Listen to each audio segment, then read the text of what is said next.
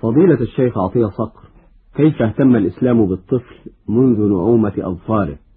وما الحكمة في رضاعته عامين كاملين؟ ولماذا اختص الأمة بحضانته دون الأب؟ ولماذا دعا الرسول صلى الله عليه وسلم وحض على الرضاعة الطبيعية؟ اهتم الإسلام بالطفل لا منذ نعومة أظفاره فقط بل أثناء حمله جنينا في بطن أمه قبل أن يولد. وذلك بتوفير الراحة البدنية والنفسية لأمه لانعكاس ذلك عليه.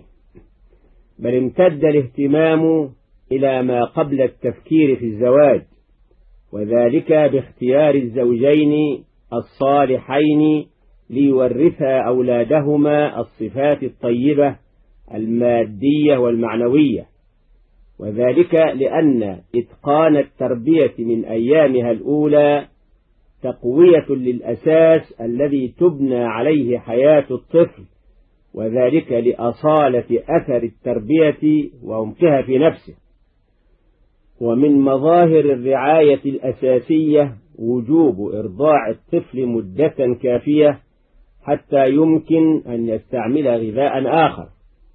ولبن الأم فيه من العناصر ما لا يوجد في غيره حتى في لبن أم أخرى. وليس هناك تحديد لمدة الإرضاع عند استعداد الطفل لتناول غذاء آخر. ولكن عند تنازع الوالدين تكلف الأم بإرضاعه حولين كاملين. وقد قرر الأطباء أن إرضاع الأم اللبأ لولدها يفيده إفادة كبيرة. واللبأ هو اللبن المركز المختزن في الثديين مدة الحمل وأوجبه أئمة الشافعية. كما قرروا أن الرضاعة الطبيعية أفضل من الرضاعة الصناعية ومن الرضاعة من مرضعة أخرى.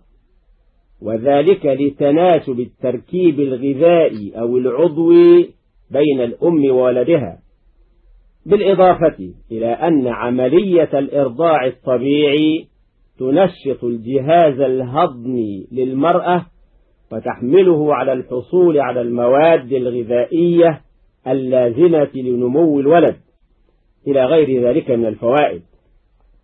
وحضانة الأم لولدها إلى جانب التناسب بين لبنها وما يحتاجه الولد فيها غذاء روحي كبير يمثله حنان الأم على ولدها الرضيع وهي تحمله وتحتضنه وتقبله. ولا يوجد ذلك في لبن صناعي ولا عند مرضعة أخرى. إن الأمة تلقن رضيعها نوعا من التربية التلقائية بالمحاكاة وغيرها. ينطبع ذلك في نفسه ويستمر معه أمدا طويلا.